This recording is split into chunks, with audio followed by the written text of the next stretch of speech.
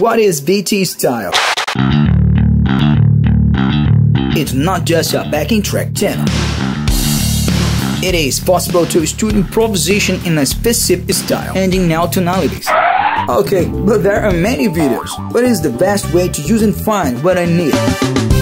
In the main menu of the channel, use the playlist tab. There you will find the musical styles separating the groups with their respective tones. What style would you like to study?